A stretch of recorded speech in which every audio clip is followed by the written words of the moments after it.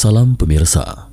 Hari ini mata ketiga akan mengangkat topik terkait bukti eksisnya peradaban prasejarah. Pertama, coba lihat gambar ini yang merupakan situs Sasa Yuaman, sebuah benteng di Cusco, Peru, Amerika Selatan. Dan ini adalah bird eye view atau foto udara, yakni pemandangan suatu benda dari atas ke atas. Selain itu juga beberapa foto lain dari foto ini tampak seperti tembok kota yang terbuat dari batu-batu besar. Namun tata letak antara batu dengan batu bisa disebut sempurna. Ketika bangsa Spanyol pertama kali melihat tembok kota ini pada abad ke-16, mereka seakan terpanah dengan pemandangan di hadapannya. Dan lebih mengejutkan lagi, susunan batu-batu besar itu tidak menggunakan grot, yakni fluida padat yang digunakan untuk mengisi celah juga tidak dipotong dengan peralatan dari besi atau baja dan memoles batu-batu ini, apalagi mesin dan peralatan untuk mengangkut batu-batu raksasa tersebut. Tembok kota ini agak mirip dengan piramida, yaitu sumber batunya diangkut dari tempat jauh. Dari foto-fotonya, kita bisa melihat secara intuitif tingkat kesulitan dan kehebatan proyek ini. Karena itu hingga saat ini, tembok kota itu masih menjadi misteri terkait bagaimana proses pembangunannya. Ada dugaan bahwa bangunan itu adalah hasil karya peradaban prasejarah. Dugaan ini bukannya tidak berdasar. Ada istilah ergonomika atau ergonomik, yakni ilmu yang mempelajari interaksi antara manusia dengan elemen-elemen lain dalam suatu sistem. Atau dengan kata lain, ada beberapa produk pasti akan dibuat menjadi lebih cocok dan pas secara ergonomik, seperti misalnya ponsel Apple. Setelah iPhone 5S, bingkai bulat iPhone 6 akan lebih ergonomis. Demikian pula di bidang kerajinan, batu yang dipotong secara merata jelas jauh lebih sejalan dengan kreasi manusia daripada batu yang bentuknya ganjil. Kecuali jika itu adalah peradaban yang tidak sama dengan peradaban kita, Berikutnya coba lihat gambar ini. Terlihat seperti bekas tekanan roda kereta kuda atau semacamnya. Ini bukan jejak yang terbentuk ratusan tahun yang lalu, tapi dari hasil deteksi karbon diperkirakan sudah terbentuk 14 juta tahun silam. Asal tahu saja, manusia paling awal muncul sekitar 3 juta tahun yang lalu, jadi ini jelas bukan buatan manusia. Namun pembentukan jejak seperti ini, selain terbentuk secara alami, besar kemungkinan ditopang oleh suatu peradaban. Jika kemungkinan pembentukan alaminya tidak terlalu besar, maka berdasarkan gambar ini saja sudah ada beberapa ilmuwan yang mengaitkannya dengan peradaban prasejarah. Foto selanjutnya ini juga dari Amerika Selatan, ditemukan di Costa Rica. Dari foto itu kita dapat melihat, selain batuan keras dari bola batu itu sendiri, lainnya adalah tanah. Jadi bola batu itu mungkin berasal dari tempat lain. Mungkin batu meteor, tidak juga mirip, karena meteorit pasti akan mengalami suhu tinggi dan sulit untuk mempertahankan bentuk bulat standar seperti itu. Jika dicermati dari bagian hitam di atasnya, sepertinya itu polesan dari sebongkah batu besar. Demikian pula tidak ada yang bisa menjelaskan untuk apa bola batu itu dibuat. Berikut ini adalah kota bawah air Dwaraka, kota Sang Krishna, India. Sebenarnya banyak kota bawah laut di dunia, misalnya di Tiongkok juga ada, hanya saja terpaksa ditinggalkan untuk proyek pemeliharaan air. Tapi kota bawah air kuno di India ini telah berusia lebih dari 9.000 tahun sejarahnya. Lebih dari 9.000 tahun silam, titik waktu ini kebetulan kurang lebih sama dengan runtuhnya sebuah peradaban, yakni Atlantis. Foto-foto di atas seolah-olah ada sesuatu yang tidak dapat kita jelaskan, tapi juga sepertinya menuntun kita untuk percaya akan keberadaan peradaban prasejarah. Contoh misalnya kota kuno di bawah laut ini yang juga tercatat dalam kitab suci agama di India.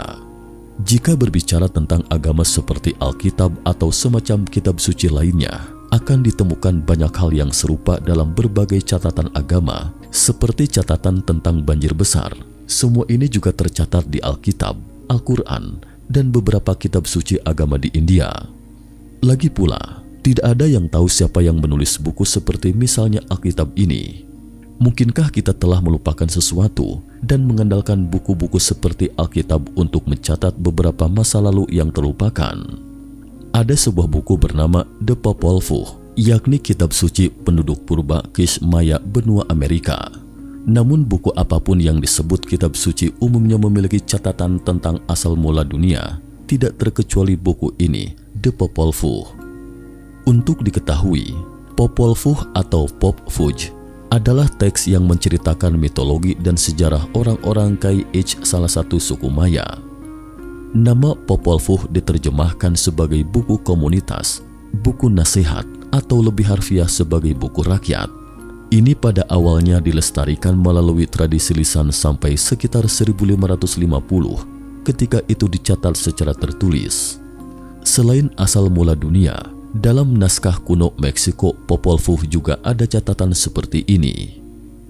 Di planet bumi ini pernah ada empat generasi manusia, Pertama adalah generasi manusia raksasa. Mereka bukan penduduk bumi, tapi dari langit. Mereka punah karena bencana kelaparan. Generasi kedua manusia hancur oleh api besar atau kebakaran dunia. Generasi ketiga manusia adalah primata yang hancur karena saling bunuh. Belakangan muncul generasi keempat manusia. Peradaban manusia pada tahap ini hancur oleh banjir besar Buku ini disebut kitab suci bangsa dari benua Amerika. Saat membahas tentang benua Amerika awal, mau tidak mau harus mengaitkannya dengan peradaban suku bangsa Maya. Banyak orang mengatakan bahwa buku Popol Vuh dipengaruhi oleh peradaban Maya. Sekarang kita lihat apa yang dikatakan bangsa Maya tentang peradaban. Suku Maya menyebut rentang waktu yang panjang sebagai periode matahari. Setiap tahun matahari bersesuaian dengan sebuah peradaban. Peradaban Gendaya berakar pada periode atau tahun matahari pertama. Peradaban ini disebut juga peradaban super, memiliki postur atau badan tinggi besar. Kaum laki-laki memiliki mata ketiga, dan karena mata ketiga inilah mereka memiliki kekuatan super yang tidak sama fungsinya. Ada yang berfungsi untuk menerawang masa depan, ada yang bersifat menyerang lawan dan sebagainya. Namun peradaban ini hancur secara misterius. Periode atau tahun matahari kedua adalah peradaban Mesodarian. Peradaban ini merupakan kelanjutan dari peradaban sebelumnya. Mereka tidak hanya lupa dengan segala sesuatu yang terjadi sebelumnya, tetapi juga kehilangan kekuatan super. Sejak itu mereka memiliki minat yang besar pada makanan, jadi disebut juga peradaban pangan. Peradaban Mesodarian hancur karena transformasi medan magnet bumi Periode atau tahun matahari ketiga adalah peradaban Muria yang merupakan kelanjutan dari peradaban Mesodarian. Mereka mewarisi kekuatan yang dibawa oleh alam dan dapat berkomunikasi dengan alam. Peradaban ini juga hancur secara misterius. Periode atau tahun matahari keempat adalah peradaban Atlantis atau peradaban cahaya. Peradaban Atlantis adalah para kolonialis dari rasi bintang Orion sang pemburu mereka memiliki kekuatan cahaya dan mereka pernah eksis pada waktu yang sama dengan peradaban Muria kala itu. Namun peradaban Atlantis hancur karena banjir besar. Belakangan menurut ramalan bangsa Maya, tahun 2012 lalu itu merupakan tahun matahari kelima. Prediksi bangsa Maya dan gambaran sebelumnya dalam buku The Popol Vuh juga menyebutkan peradaban sebelum manusia Gambaran yang tercatat dalam kitab The Popol Vuh hanya secara garis besarnya, beda dengan bangsa Maya yang menggambarkannya secara lebih detail, tetapi masih dapat dilihat bahwasanya dari gambaran keduanya tentang adanya empat peradaban sebelum manusia dan gambaran tentang generasi pertama dan keempat, mereka itu sangat mirip satu sama lain. Dari catatan buku The Popol Vuh, generasi pertama manusia adalah peradaban manusia raksasa, Bangsa Maya juga mengatakan bahwa periode atau tahun matahari pertama adalah manusia dengan postur badan tinggi besar. Menurut suku bangsa Maya, peradaban dari generasi keempat adalah Atlantis. Ada yang mengatakan bahwa peradaban Atlantis adalah bangsa samudra.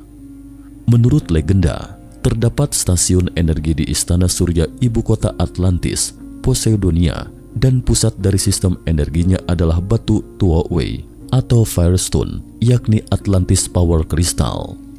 Kristal ini sangat besar secara ukuran, silinder dalam panjang, dan prismatik dalam bentuk dengan enam sisi. Di puncak kristal tersebut terdapat batu penjuru yang bergerak yang digunakan baik untuk konsentrasi energi sinar yang masuk dan untuk arus langsung ke berbagai bagian dari pedesaan Atlantis. Tampaknya bahwa kristal tersebut mengumpulkan energi matahari, bulan, bintang, atmosfer dan bumi serta kekuatan elemen yang tidak dikenal dan mengkonsentrasikan pada titik tertentu yang terletak antara bagian atas kristal dan bagian bawah dari batu penjuru. Oleh karena itu, peradaban Atlantis disebut juga peradaban cahaya. Sebenarnya dugaan orang-orang tentang eksistensi peradaban prasejarah itu tak pernah berhenti. Menurut data penelitian ilmiah yang ada, jawabannya adalah bahwa manusia pasti merupakan peradaban awal di bumi. Namun data penelitian ilmiah tersebut tidak dapat menjelaskan banyak bug. Selain dari foto-foto itu sebelumnya, juga ada Stonehenge di Inggris, patung di Pulau Pasca, garis Nazca di Peru dan sebagainya. Semua ini tidak dapat dijelaskan dengan hasil peradaban kita. Misalnya garis Nazca bentuknya secara keseluruhan baru akan terlihat jelas dari tempat yang tinggi atau dari udara. Jadi praduga seperti itu bukannya tidak berdasar. Asal tahu saja, terkait peradaban ini tidak berarti semua kehidupan bisa melahirkan peradaban. Dinosaurus misalnya telah ada di muka bumi selama 160 juta tahun. Selama 160 juta tahun itu tidak ada peradaban yang lahir. Sebaliknya kita, manusia, kalau dihitung dari sejak Homo erectus manusia yang berdiri tegak hingga sekarang sudah lebih dari 3 juta tahun. Jarak waktu ini sama sekali tidak bisa disejajarkan dengan 160 juta tahun keberadaan dinosaurus kala itu. Tetapi peradaban manusia justru telah lahir dalam kurun waktu yang singkat ini. Tampaknya peradaban manusia juga telah mencapai ketinggian yang belum pernah terjadi di muka bumi. Tetapi benarkah demikian? Sebagian orang tidak berpendapat demikian. Menurut mereka, lahirnya peradaban manusia tidak terjadi secara alami. Artinya mungkin benar seperti yang disebutkan dalam ramalan suku Maya, peradaban manusia ini hanyalah kelanjutan dari peradaban sebelumnya karena manusia dan semua makhluk lain di bumi itu sendiri memiliki perbedaannya masing-masing. Misalnya kesamaan genetik antara manusia dan simpanse mendekati 99 persen tapi kenapa kesenjangan kecerdasan antara manusia dan simpanse itu begitu besar? Bayi simpanse sudah bisa memeluk erat induknya setelah lahir, sedangkan manusia yang baru lahir dapat digambarkan bukan main lemahnya. Butuh waktu hampir setahun pertumbuhan baru dapat bergerak atau merangkak bebas. Jadi mungkinkah ini menyalahi teori evolusi spesies? Selain itu, manusia tidak memiliki siklus estrus yakni perubahan fisiologis yang terjadi secara berkala pada kebanyakan mamalia betina.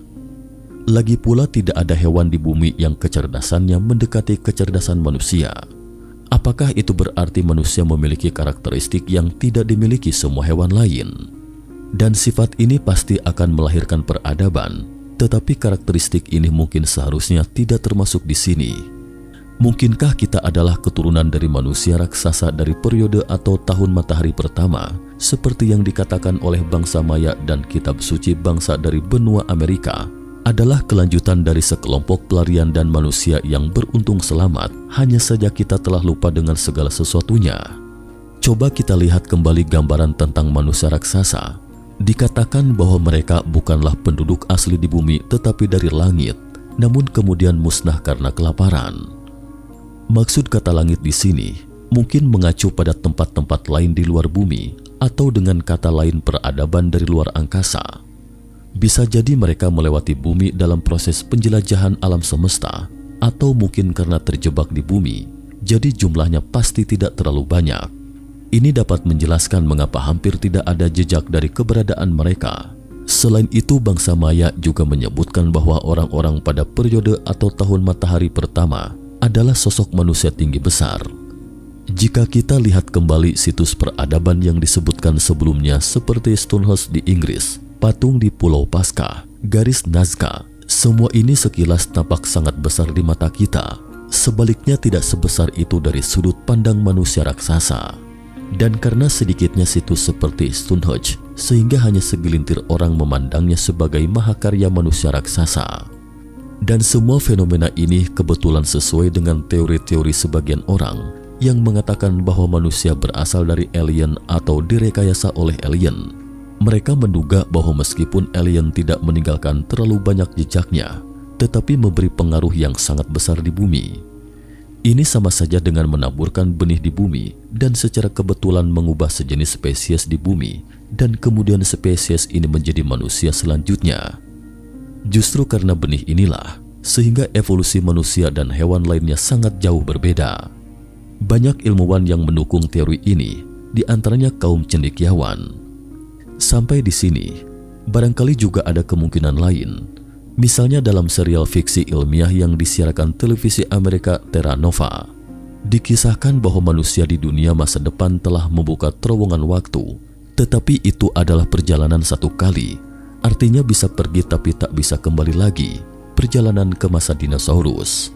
Orang-orang pada saat itu di mana karena faktor ekonomi, lingkungan dan politik, sehingga banyak yang bermigrasi ke zaman prasejarah dan memulai hidup baru di sana. Mereka mendirikan basis pada zaman purbakala itu dan hidup bersama dinosaurus semasa itu dan banyak cerita yang menarik dalam petualangan ini. Ini adalah serial TV yang cukup menarik. Yang ingin saya katakan adalah, mungkinkah bangunan dan situs yang tidak bisa dijelaskan itu hanyalah lelucon dari manusia masa depan? Nah teman-teman cukup sekian dulu sampai di sini. Jika suka dengan video ini, jangan lupa like, komen, dan subscribe ya. Sampai jumpa. Terima kasih atas perhatiannya.